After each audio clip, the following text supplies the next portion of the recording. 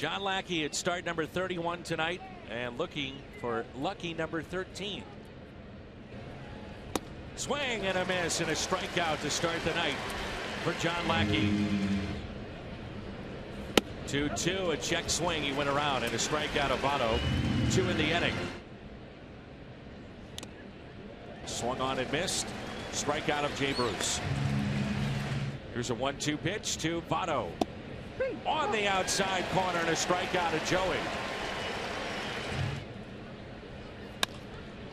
Double play ball. Wong steps on the bag. There's two. The second double play turned by the Cardinals tonight.